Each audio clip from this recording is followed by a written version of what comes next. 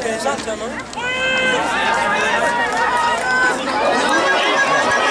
Les jambes, les jambes.